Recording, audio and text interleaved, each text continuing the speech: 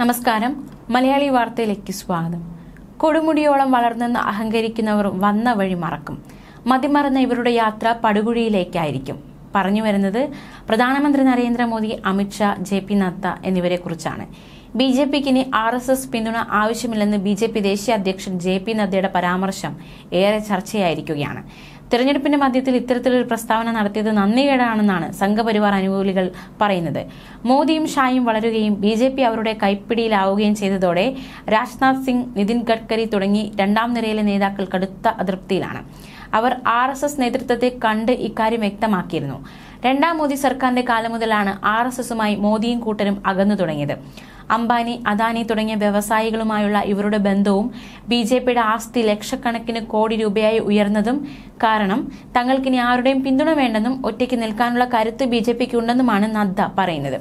എല്ലാ തിരഞ്ഞെടുപ്പുകളിലും R S S പ്രവർത്തകർ ബി ജെ പിക്ക് വേണ്ടി ഇറങ്ങി പ്രവർത്തിക്കാറുണ്ട്. ഇത്തവണ പ്രചാരണത്തിൽ അവരുടെ അസാന്നിധ്യത്തിന് കാരണം മോദിയോടും കൂട്ടരോടുമുള്ള വിയോജിപ്പാണെന്ന് റിപ്പോർട്ടുകളുണ്ട്.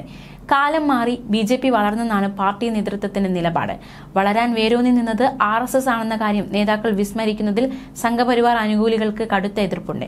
എ ബി വായ്പേയിയുടെ നേതൃത്വത്തിൽ ബി ജെ പി ആദ്യം അധികാരത്തിലെത്തിയ കാലം മുതൽ സർക്കാരുകൾക്ക് മാർഗനിർദ്ദേശം നൽകിയിരുന്നത് ആർ എസ് എസ് ആയിരുന്നു. രണ്ടായിരത്തി പതിനാലിൽ മോദി അധികാരത്തിലേറിയതും അങ്ങനെ തന്നെ. എന്നാൽ രണ്ടാം ഊഴത്തിൽ ബി ജെ പിക്ക് ഒറ്റയ്ക്ക് മുന്നൂറ് സീറ്റ് കിട്ടിയതോടെ ആർ എസ് എസിനെ വേണ്ടാതായി.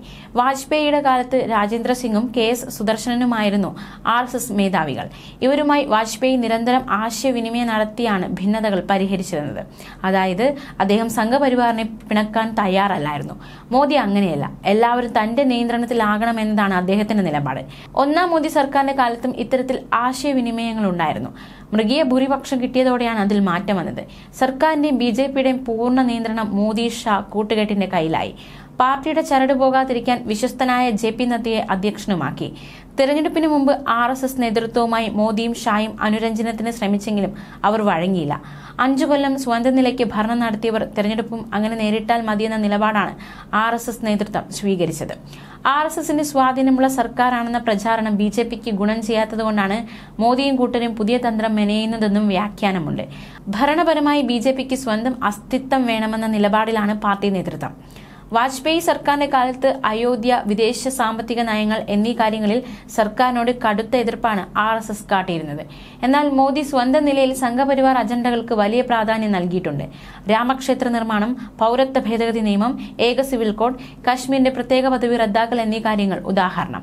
പ്രത്യക്ഷത്തിൽ പരിവാർ നയങ്ങൾ നടപ്പാക്കുമ്പോൾ തന്നെ അവരുമായി അകൽച്ച പാലിക്കുക എന്ന വളരെ കൗശലപരമായ നിലപാടാണ് മോദി സ്വീകരിക്കുന്നത്. അതുകൊണ്ട് ആർ എസ് എസുമായി ബി ജെ പിക്ക് ഭിന്നതയുണ്ടെന്ന് ആർക്കും സംശയം തോന്നില്ല. ആർ എസ് എസിന്റെ സംഘടനാ ശക്തിയും പ്രചാരകരുമാണ് ബി ജെ പിയുടെ ശക്തി. കാരണം നിസ്വാർത്ഥ സേവനമാണ് പ്രചാരകർ നടത്തുന്നത്. പാർട്ടി പ്രവർത്തകർ ആ രീതിയിലുള്ള പ്രവർത്തനം നടത്താറില്ല. അവർക്കൊക്കെ പാർലമെന്ററി മോഹങ്ങൾ അടക്കമുണ്ട്.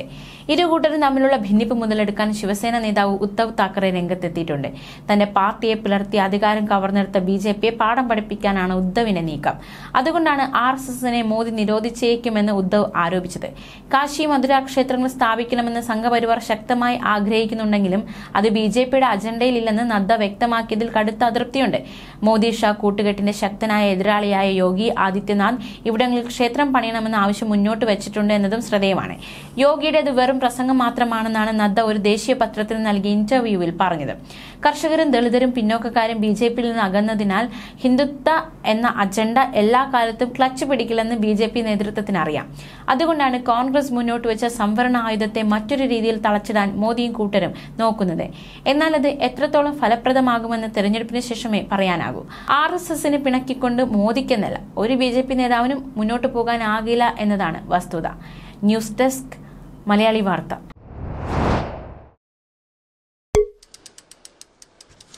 you